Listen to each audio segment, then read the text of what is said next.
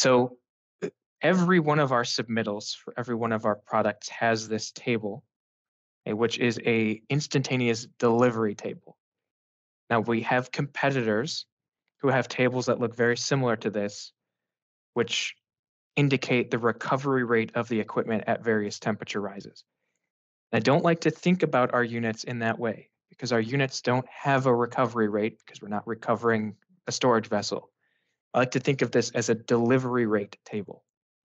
So when you come to this table, basically what's done here is a simple calculation that we do on the sizing front.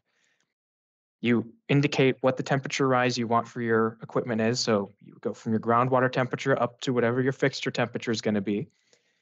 And then we calculate what the maximum amount of flow rate you can put through the system and still achieve that temperature rises.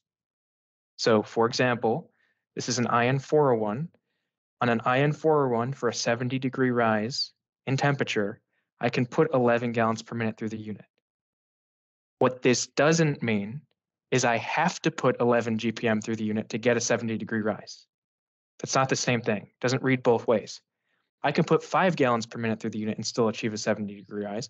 I can put one gallon per minute through the unit and achieve a 70 degree rise.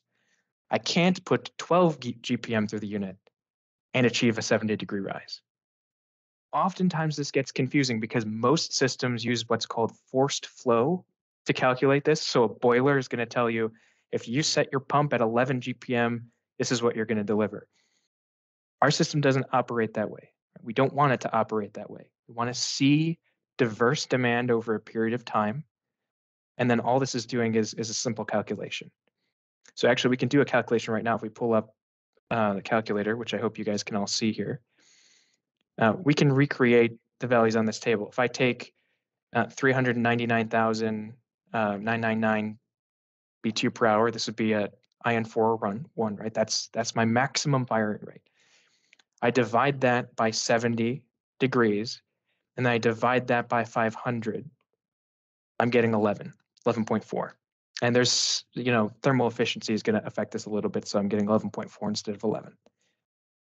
That's where this comes from taking that same equation we use on the sizing front to calculate capacity, I'm just flipping it around.